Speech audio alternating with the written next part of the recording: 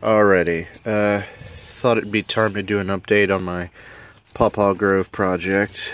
This one here, hey Irvin, is just a uh, seed that I sprouted last year. I was actually concerned that it wasn't gonna um, come back this summer, but as you can see, it is coming back right there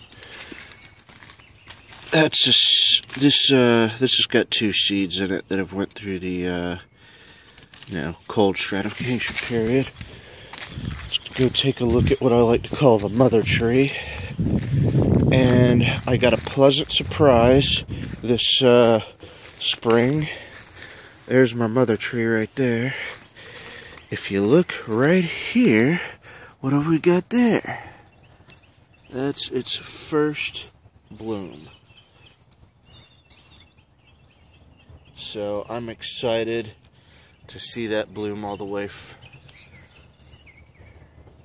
now, I read on some sites that um, it'll throw out blooms before it throws out leaves, but uh, that bloom actually came at the same time it started to throw its first leaves off the uh, tips of its branches. So looks like it's going to be growing good.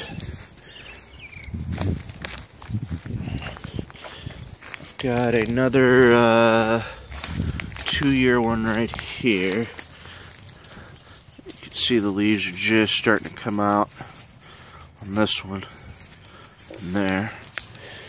And my other two-year, well, actually, this will be their third third year. Um, is here.